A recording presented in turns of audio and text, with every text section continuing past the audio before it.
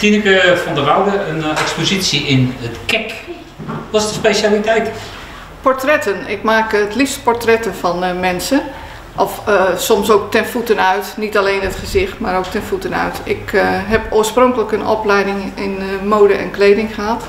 Dus ik vind het nog steeds leuk om vrouwen mooi aan te kleden en daar een portret van te maken. Ik hoor dat wij pech hebben als man. Als man mag je ook geschilderd worden, maar dat is meer in opdracht, eh, zeg maar. Dus niet als vrij werk. Wa- wa- waarom vier portretten zo leuk? Ja, ik weet het niet. Ik eh, heb gewoon iets met mensen. Ik vind dat eh, afwisselend. Ik vind dat leuk. Mensen zijn allemaal verschillend. Dus je kan daar echt een karakter aan, aan meegeven. En het is decoratief. Dat is ook een van de redenen waarom ik voor vrijwerk graag vrouwen schilder. Want mannen, ja, het spijt me, maar eh, die hangen minder leuk eh, aan de wand. Nou, dat- daar kan ik mee thuis komen straks. Ehm, ik, ik, pak je dan ook een model of is het gewoon uit vrije expressie? Eh, nee, ik vraag mensen om voor mij te poseren als ik vrij werk maak. En andersom is het natuurlijk zo dat mensen mij benaderen als ze een portret van een geliefde willen laten schilderen.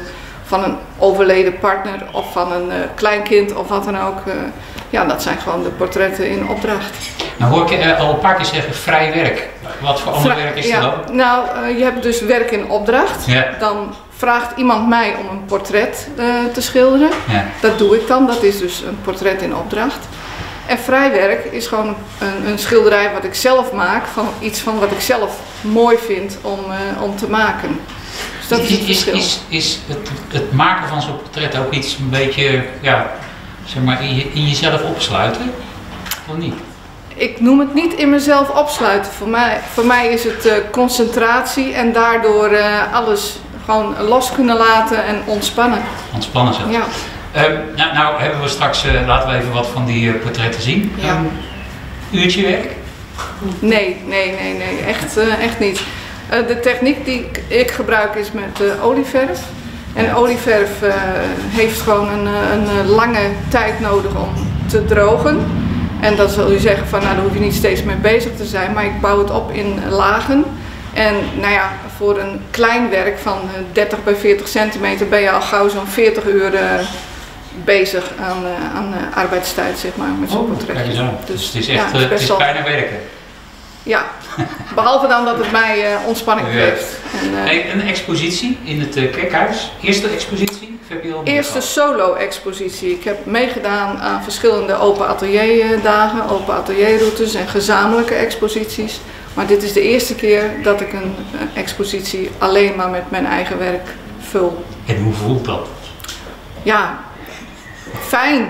Fijn. Fijn, ja. En wat heel fijn is, is dat het, het zonnetje schijnt. Dus wat dat betreft eh, is het eh, genieten van, eh, van dit weekend dat ik hier exposeer. Ja.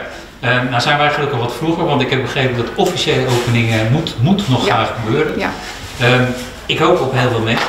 Ja. Ehm, als je nou kijkt naar, naar dit werk, hè, zou je het ook mensen aanraden om zich daar eens in te verdiepen om dat te doen?